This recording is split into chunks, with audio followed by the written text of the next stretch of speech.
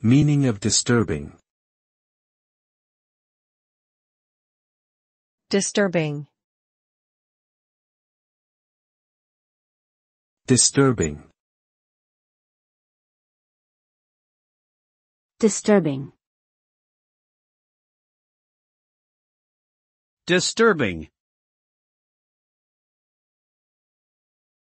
The word disturbing means something that causes feelings of anxiety, worry, or discomfort. It suggests that the situation or event is unsettling and can potentially cause emotional or psychological upheaval. The impact of disturbing events can be far reaching, ranging from mild discomfort to severe trauma. For example, a disturbing news report about a violent crime may leave someone feeling uneasy and disturbed for days.